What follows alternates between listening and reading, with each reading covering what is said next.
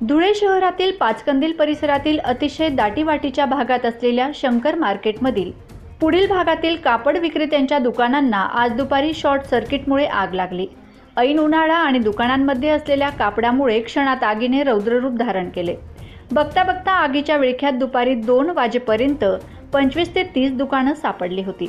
आगीची माहिती मिळताच अवघ्या वीस मिनिटात घटनास्थळी पोहोचलेल्या महापालिकेच्या अग्निशमक दलाला दाट लोकवस्ती मार्केटमध्ये शिरण्यासाठी असलेली अपुरी जागा यामुळे पाणीही मारता येत नव्हते.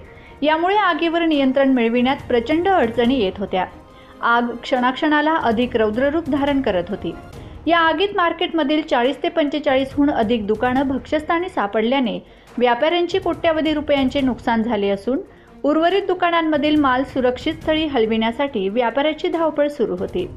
आगीच्या भक्ष्यस्थानी सापडलेल्या दुकानदारासह अन्य दुकानदारांनाही अश्रू अनावर होत होते.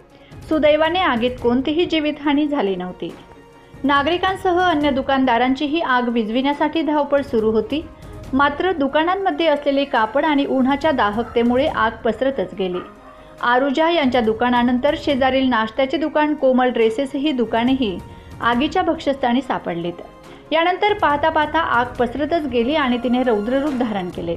अगदी दूरवरून आगीमुळे धुराचे लोट आणि ज्वालाही स्पष्ट दिसत होते. शंकर मार्केटमध्ये आग लागल्याची माहिती मिळताच येथील महापालिकेच्या अग्निशमक दलाचे तीन बंब वीस मिनिटात घटनास्थळी दाखल झाले. तोपर्यंत मार्केटमधील इतर दुकानेही आगीच्या भव्यस्थानी सापडली. आगीची तीव्रता इतकी भीषण होती की मार्केटला लागलेल्या आगीचे दाह आजूबाजूच्या परिसरातही जाणवत असल्याने दुकानापर्यंत पोहोचण्यात अडचणी निर्माण होत होत्या. माझा खानदेश न्यूज ब्युरो शिरपूर.